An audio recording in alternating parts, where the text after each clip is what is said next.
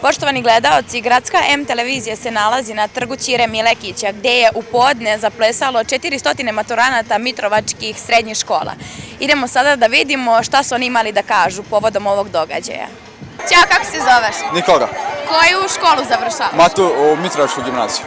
E, da li možeš da mi kažeš šta predstavlja maturski ples danas što se održava? Pa maturski ples je jedna dugogodišnja tradicija Mitrovačke gimnazije koja se svake godine održava krajem maja i predstavlja završetak našeg gimnazijskog školovanja u opšte srednjoškolstvu.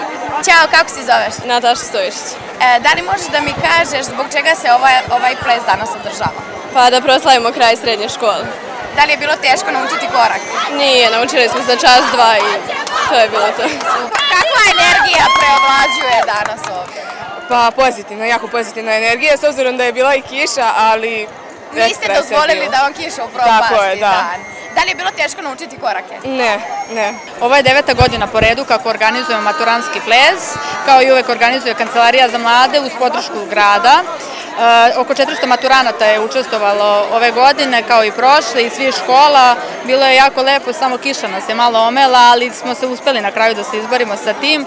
Mi maturantima želimo sve najbolje da rade na sebi i da veruju u sebe, ali pre svega da se vrate ponovo u svoj grad i mogu da kažem slobodno da je danas naš trg bio najlepši trg, zato što je ovo trg mladosti pre svega.